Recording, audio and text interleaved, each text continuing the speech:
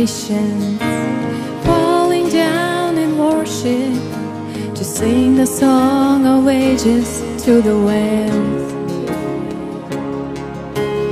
All who gone before us and all who will believe, and sing the song of ages to the winds. Your name is the heart.